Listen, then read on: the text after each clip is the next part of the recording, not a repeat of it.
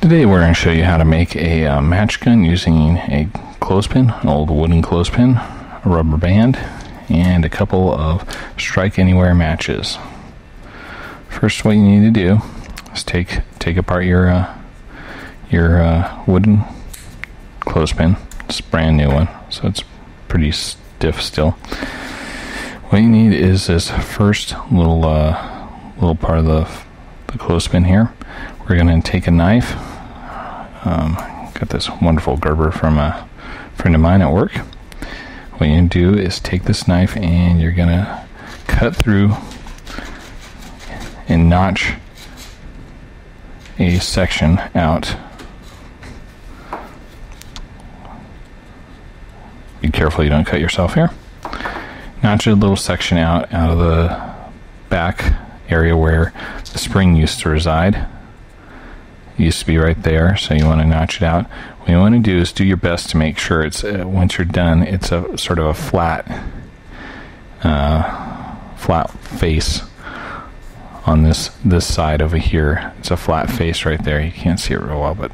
Uh, okay, once you have that chopped and cut, you take your spring and you push that in with the edge so you can slide it on like so. You want to have the lower section, uh, the lower part of the spring catch into there, and then your upper parts and catch in here. And do a test by sliding the spring back and seeing if it latches in there, holds.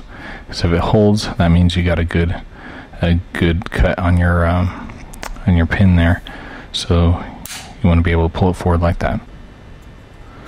Actually, what we want to do is shave off this section a little bit here until we get it a little roughened up a little bit there and roughen up that surface a little bit. Then take the stick the pins together hold them together tightly take your rubber band and flip it back and forth on here. Oh I'd say about a six or seven times until you have it on there pretty firmly. Okay then what we want to do is take another clothespin like this, just disassemble it. Get rid of one piece. All you need is a stick, and you just use that as your pushback loader or the the cocking mechanism.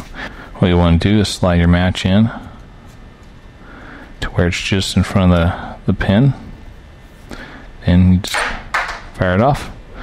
And if you use strike anywhere matches, this should ignite your match for you.